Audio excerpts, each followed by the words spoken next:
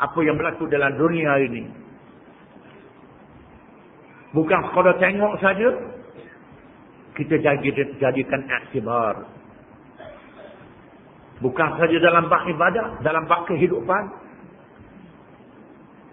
Bagaimana orang-orang kaya di negara barat,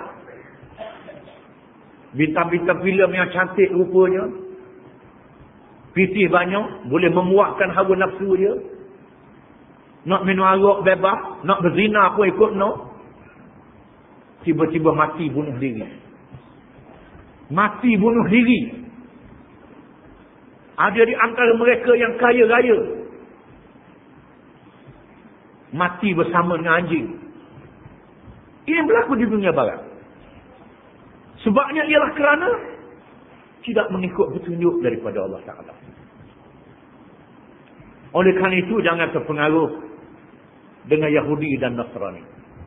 Jangan terpengaruh dengan mereka. Mereka cukup halu. Kadang-kadang macam sebut tadi lah. Dalam perkara yang berkait dengan pemerintahan. Dia benar kita semayang, benar puasa, benar buat masjid.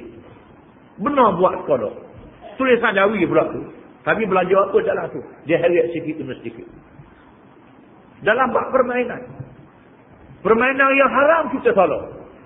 Kita tolak permainan yang haram. Tak boleh. Permainan yang ada judi. Dia bawa permainan yang dihalalkan. Permainan yang dibenarkan. Ha, buat tapi dia buat leka. Dia buat dekat-dekat batu semayang.